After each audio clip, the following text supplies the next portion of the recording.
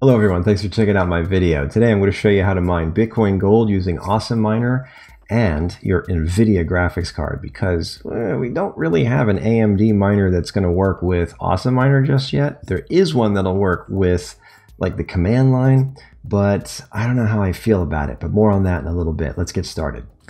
All right, first things first, you need the new wallet, okay? So come to the Bitcoin Gold website, go to the downloads here. You can choose the core wallet, which will download the whole blockchain, take forever, or you can do Electrum G, which is nice because it's kind of like a client wallet and it's lightweight, so you don't have to download the whole blockchain. I like Electrum wallets just because they're quick and easy. I mean, that's that's pretty much me. So you decide what you want to do, but download this wallet and install it. The next step is to come over to miningpoolhub.com and sign up with an account if you haven't already. If you're new to it, make sure you pick a username that's easy to remember because you will be typing it in later. Then um, you're going to go ahead and click on this um, Bitcoin Gold link over here on the left hand side and that will take us to sort of the setup page you know so you can scroll down a little bit and you'll see here we've got server information which we're going to use to set up awesome miner okay Next, you want to download a copy of Awesome Miner. So you can just come over here. I'll leave a link in the description. Click this top link here, Awesome Miner Installer. That's the full program. It gives you up to two miners for free. Install that. Once Awesome Miner is installed, you'll probably get a bunch of different pop-up windows. You can just cancel everything and get to this main screen here, and I'll just walk you through the whole process. If you've downloaded the latest version of Awesome Miner, you pretty much have everything that you need to get started mining Bitcoin Gold with your NVIDIA graphics card, okay? So I gotta stress that. This is for NVIDIA right now. All right, so first thing you'll wanna do is click this new miner button, and that'll take you to the add new miner wizard. Go to next, and then manage profit miner. Go to next, and then here we're going to type in Bitcoin Gold and leave your miner host as local and then profit switching profile. We're going to set that to NVIDIA. Go to next and finish. And that creates a new miner right here. The next step is to create a new pool for that miner. And we're going to click this button right here that says new pool. And here we're going to give it a description. I'm going to call this MPH. So I know it's mining pool hub and then Bitcoin Gold. All right, for the server URL, we're going to type in stratum plus TCP colon forward slash forward slash, and then we'll go back over here to Mining Pool Hub and grab the server address. Um, you have three different regions here, so just pick the one that's closest to you and make sure you include the entire address and port number. All right, just right click, copy that and paste it right here where it says server URL. Right here where it says worker name, this is where you're going to put your Mining Pool Hub username. So in this case, mine is Goose Tech dot, and this is my 1080. So I just put in 1080. That way I know which graphics card's mining on their site. Worker password is X. And then underneath optional settings, you want to scroll up to where it says Equihash BTG. See that right there? It's its own Bitcoin Gold algorithm special that they made just for themselves. I suppose other people could figure it out, but that's right now Bitcoin Gold exclusive Equihash algorithm.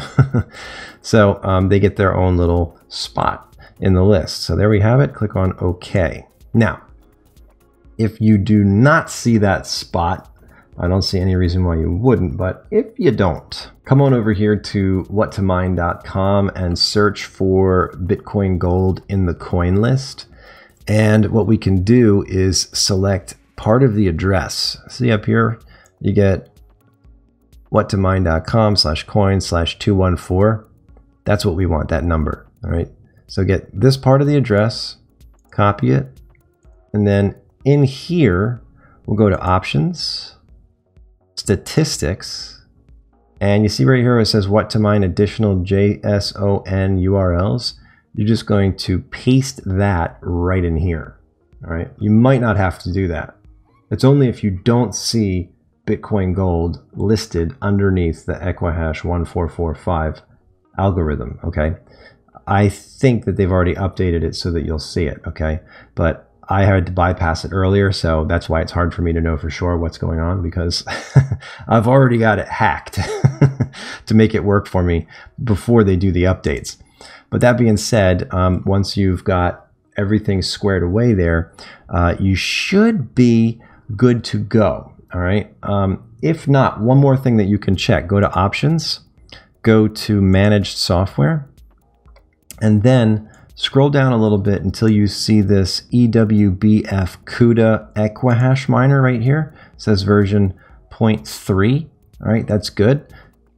Highlight it and click on Edit.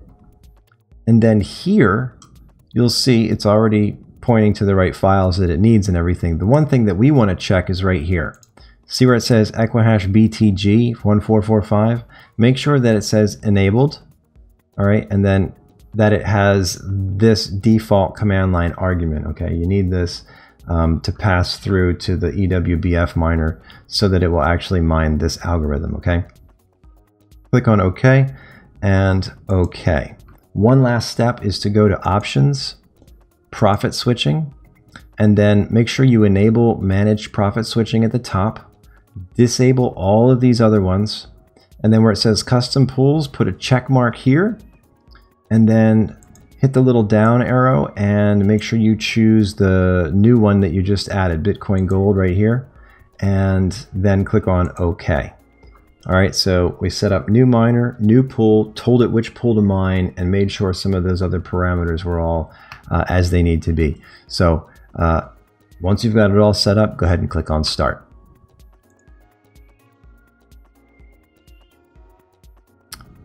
And you can see in my version here, it pulled up the EWBF Equihash miner.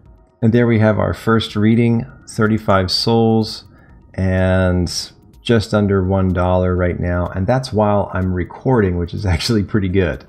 So uh, your mileage may vary, but this is pretty decent for my 1080. The last thing to set up is your wallet so that you can get your payouts. One thing I have to tell you right now is that if you go to the auto exchange on Mining Pool Hub, there is no automatic trading for Bitcoin Gold. Okay, so these different exchanges are not yet ready to accept Bitcoin Gold using their new algorithm and that new blockchain that they started. Okay, so um, you won't be able to auto exchange it but you can still get paid out. All right. So to get paid out, you just go to the Bitcoin Gold pool, click on wallet, and then right here where it says payment address, um, you go to your Bitcoin Gold core wallet or your Electrum wallet, and you get your receiving address and put it right there. All right. Then you would put your automatic payout threshold. You can set this to wherever you like, whatever is best for you. Maybe you set it to one Bitcoin gold. Maybe you set it to half a Bitcoin gold, whatever's good for you. Put in your four digit PIN here and then click on update account.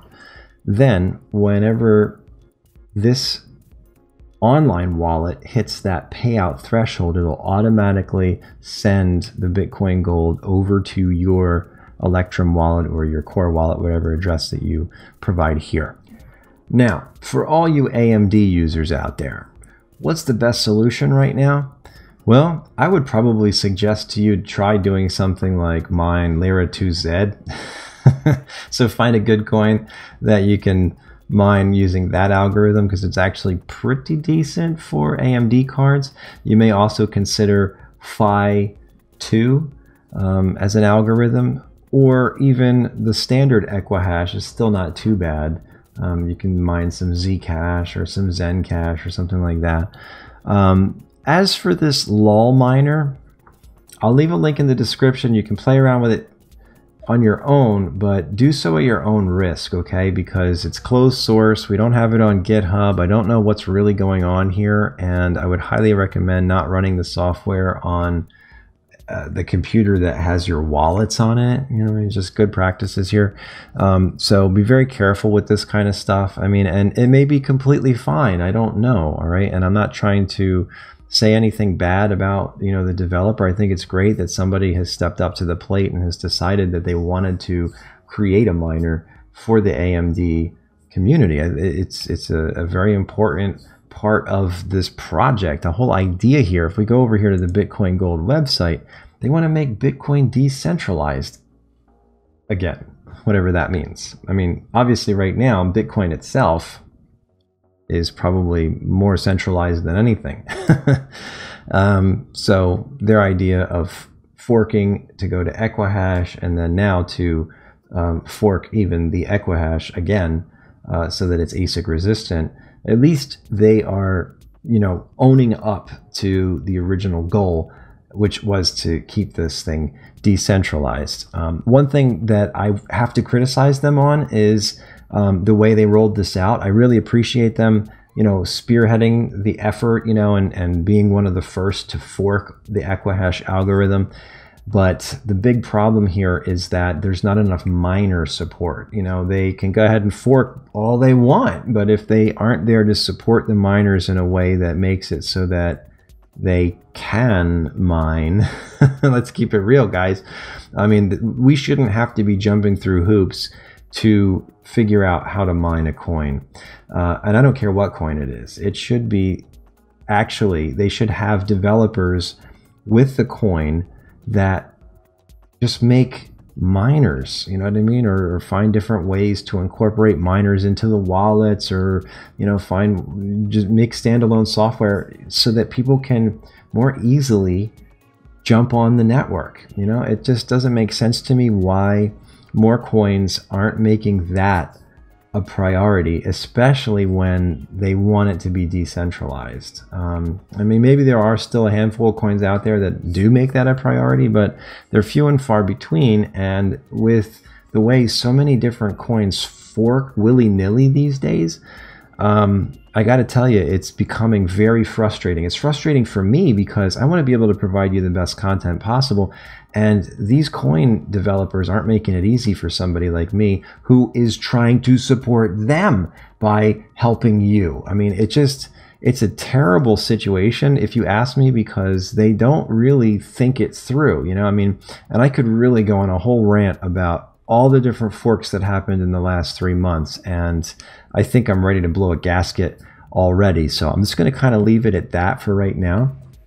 I do appreciate you guys coming to my channel and sticking with me here. I hope that you find the content to be helpful because that is really at the core of what I'm trying to do here because I see the value in crypto, not just, you know, in terms of like, oh yeah, everybody's making tons of profits because we know that's not true, but the value is in the blockchain itself. The value is in the technology and the way it's going to revolutionize the way we transact around the world. Okay, that's that is the key to this whole crypto venture for me at least you know is just recognizing the new tech how it's going to impact us and how helpful it will be for so many people.